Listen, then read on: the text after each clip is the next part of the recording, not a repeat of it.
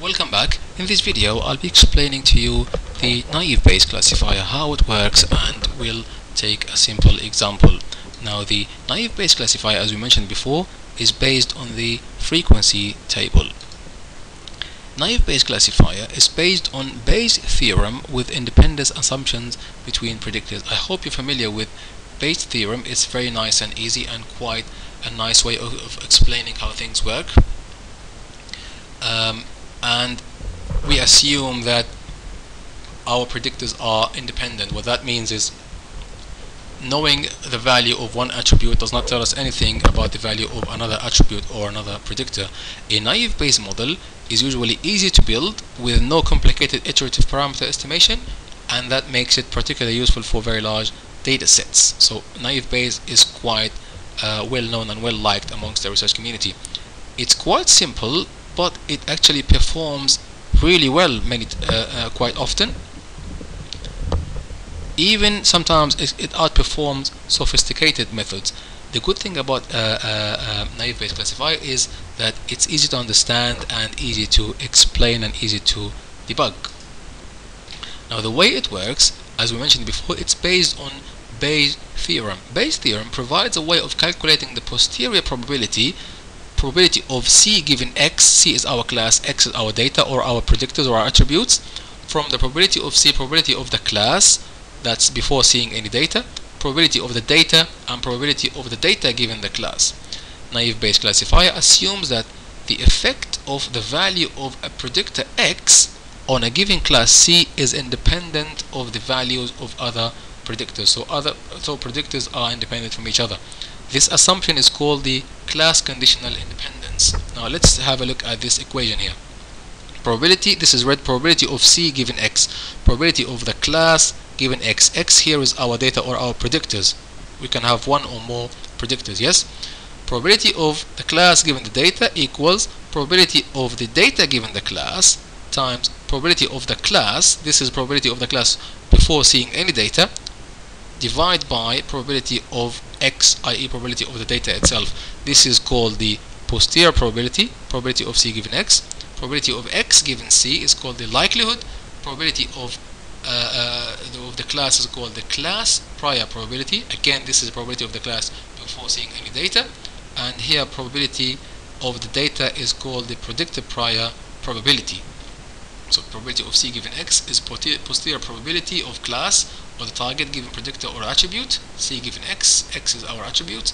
Probability of C is the prior probability of the class. Prior means before seeing any data. Probability of the data given the class is the likelihood, which is the probability of the predictor given the class, and probability of X is the prior probability of the predictor, probability of the data itself. Sometimes it's not always possible to know probability of X, this one here, but there's a way around that. So the probability of C given X, which is X is our attribute, is the probability of the first attribute given the class times probability of the second attribute given the class times and we go over all the n attributes that we have given the class times probability of the class itself. The reason we multiply probabilities here is because as we mentioned before the uh, predictors are independent. So this independence assumption assumption helps us to solve this by multiplying probabilities. Let's take an example. The posterior probability can be calculated first by constructing a frequency table for each attribute against the target. So we do uh, frequency tables, remember? If our data is numerical, then we can transform it into categorical. Or I'll show you another technique in the next video, how to deal with uh, numerical uh, variables to build a Bayesian uh, naive Bayesian classifier. Now, after we build the frequency tables, we transform them into likelihood tables or into probability tables, and finally, we use the naive Bayes equation to calculate the posterior probability for each class. Now, the class with the highest posterior probability is the outcome of prediction. Let's have a look at an example. If you remember the weather data now, for example, we have four categorical attributes and we have our class. What we do here is, for example, we calculate the probability of the class. Now, this is the prior probability. Probability of yes is 9 over 14. Probability of no is 5 over 14. 14 yes. And now we build a frequency table. You've seen this before in the 1R uh, classifier. and from the frequency table now from the from these counts from the frequencies we extract these probabilities probability of yes given it's a sunny I'm sorry probability of sunny given it's a yes. Probability of sunny given it's a no. Probability of overcast given a yes and so on and so forth. And these are just the frequency over the sum of the columns so 3 over 9 4 over 9 2 over 9 this column here sums to 9 because we have 9 yeses. And here 2 over 5 0 over 5 and 3 over 5 because this column here sums to 5 we have 5 nodes yes? Likewise for the two different values for humidity high and normal we compute their corresponding probabilities. Likewise for windy and for temperature. Uh, if you see here for example for the uh, outlook we have the frequency table and we have the probabilities now. Now if we see here the probability of x given c so probability of the variable given the class is uh, uh, read as follows or extracted as follows. Probability for example probability of sunny given yes of sunny given the class is yes is 3 over 9 or 0.33 the probability of sunny given it's a no is 2 over 5 yes? And now the probability of just sunny regardless of the class this is probability of x is 5 over 14 probability of overcast is 4 over 14 and continue likewise for rainy and now at the bottom here we have the probability of yes and the probability of no. As we mentioned this should sum up to 9 and this should sum up to 5 the number of yeses and the number of no's. I hope this makes sense. Now let's say for example we want to compute the probability of yes given the day is sunny. So what we do is we uh, uh, multiply probability of and this is by the way probability of c given x. So we have probability of x given c.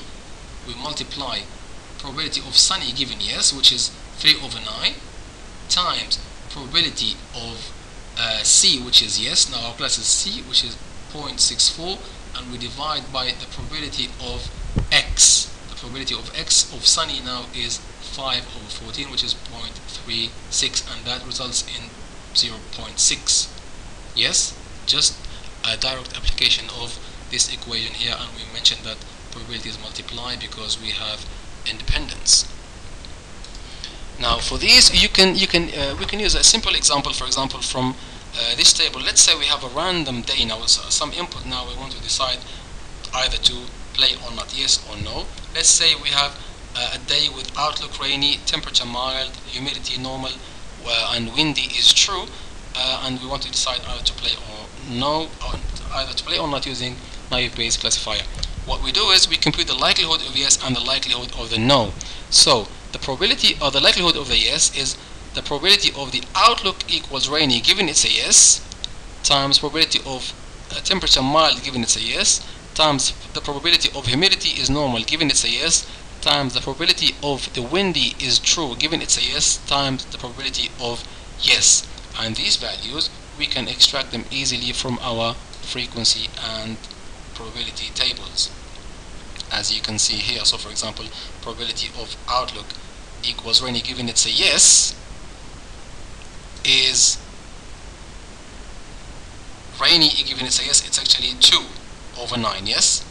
Likewise probability of temperature is mild given it's a yes is probability of temperature is mild given it's a yes it's 4 over 9 and we multiply these things together and multiply by the probability of the yes which is 9 over 14 and we get this number. This number now is not a probability, it's just the likelihood of the yes because uh, we in the same way we can compute the likelihood of the no, probability of outlook is rainy given it's a no, probability of temperature is mild given it's a no, likewise humidity normal, windy normal given it's a no, times the probability of the no.